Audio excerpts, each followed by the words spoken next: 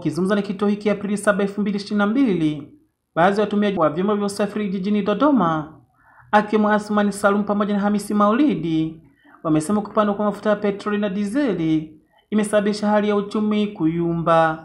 Ongezeko la mafuta kwa bei da imekuwa changamoto sana, kama sisi madereva tunaumia sana kwa kiasi kikubwa, kutokana na sisi bei zetu za Bolt zishapangwa kabisa.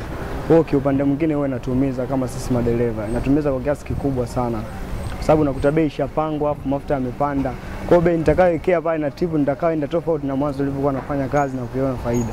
Kwa tofauti sana, ni lazima tofauti ionekane kubwa sana, na siwezi pata faida kama mwanzo. Hata kama nitapata, haiwezi kuwa kwa kiasi kile. Kuhusu hili ongezeko la mafuta kupanda bei linatuumiza sana sisi kama madereva bodaboda, sawa, kwa sababu moja, abiria ukimpatishia bei hawezi kukubali, cha kwanza. Cha pili, tunaumia sisi, sawa, kutokana na nyuma tulikuwa tunaweka mafuta elfu mbili mia ngapi, kidogo ilikuwa na afadhali kwetu. Kusema ukweli, ongezeko la bei ya mafuta ni kubwa sana, na kiukweli limetuathiri sisi. Sasa hivi hapa, kila abiria utakayempata hapa sasa hivi kimwambia twende majengo, majengo sasa hivi ni elfu tatu. Kuna wale ambao wanaenda Kikuyu sasa hivi ni elfu moja moja. Mfumuko wa bei ya mafuta. Pamoja na nauli, kulingana kwamba nauli ya awali ilikuwa shilingi elfu moja mia nne. Elfu moja mia nne kwa sasa lita moja ya mafuta shilingi elfu mbili mia tisa. Kati elfu mbili mia tisa ukigawanya kwa, kwa kilomita tunavyoenda 38 Chamwino unakuta tuna hasara ya karibu ya kilomita tano kwa, kwa kila tripu. Kwa kuna wakati mwingine hata hesabu ya tajiri tunashindwa kuikamilisha. Tajiri hiyo nao wanataka mahesabu zao na sisi tunataka chochote tupate kwa ajili ya familia zetu.